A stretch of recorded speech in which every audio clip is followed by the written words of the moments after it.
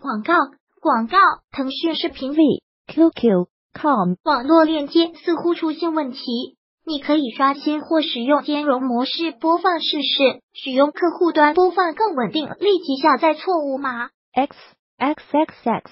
我有反馈，暂停。下一集零点零点四十八分直播，零点四十八分弹幕高清高清。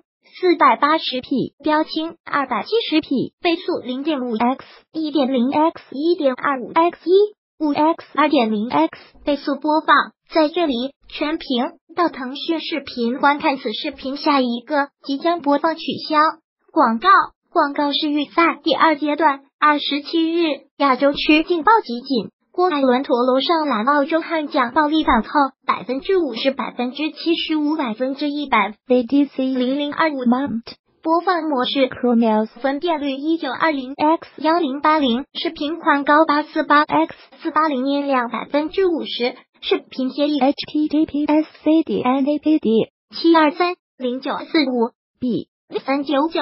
BF 二 C 二九幺 CA 八八三。二八零三。六八九三。V S M T C D N S C O M 下载速度缓冲质量真属错误码版本号三点四点三七，二零一八年七月二十一日十五点零一分五十七秒。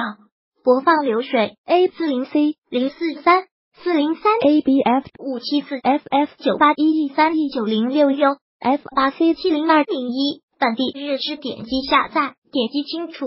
腾讯视频观看完整版是预赛第二阶段。二十七日，亚洲区劲爆集锦，郭艾伦陀螺上篮，澳洲悍将暴力反扣。按住画面移动小窗。X W I N D O W D A T A V I D E O A R R P U S H V 的 C 零零二五 Mount I N G H T T P News。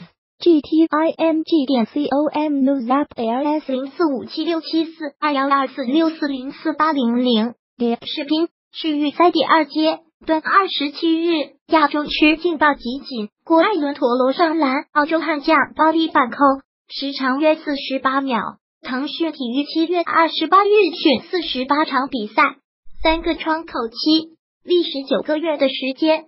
二零一九年男篮亚洲区区预赛的比赛已经全部结束，十六支球队已经缩减到了十二支，有五名顶尖的得分手在比赛中有着非常出色的发挥。一梅菲尔的伊拉克六场比赛共得到一百一十七分，梅菲尔的是亚洲顶尖的后卫，在进攻端予取予求，六场世预赛一共砍下一百一十七分，场均十九点五分，而梅菲尔德的能力。绝不仅仅是体现在得分上，他场均同样能够贡献八点八个篮板，五点三次助攻，效率值达到加十九点七。而塔克尔约旦六场比赛共得到一百一十六分，塔克尔是约旦能够获得 C 组第一的重要因素。这名身高一点九米的得分后卫，每场比赛都能拿到两位数的得分。而且场均能够有令人印象深刻的百分之六十三点四的两分球命中率，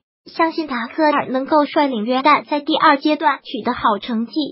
三拉特利夫韩国四场比赛共得到一百一十分，拉特利夫虽然只打了四场世预赛，但是却令韩国队的内线进攻难以阻挡。在第二个窗口期里，拉特利夫由于一头内线的巨兽。场均可以砍下二十七点五分和十二点三个篮板。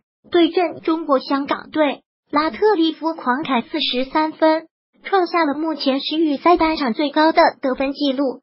四，必将岛胜日本六场比赛共得到九十七分。日本队的世预赛开局非常糟糕，前四场比赛全部失利，但是控卫比江岛胜的表现却不容忽视。场均二十七分钟的时间里。他能够贡献十六点二分，效率值高达加二十点八，比加岛胜的最高分是在与菲律宾的比赛中拿到的。他砍下二十三分，命中率超过了百分之七十五。萨德卡塔尔六场比赛共得到九十七分。卡塔尔之所以能够力压伊拉克从小组中出现，萨德场均十六点二分不容忽视。他虽然仅有二十二岁。但是却有很大的上升空间。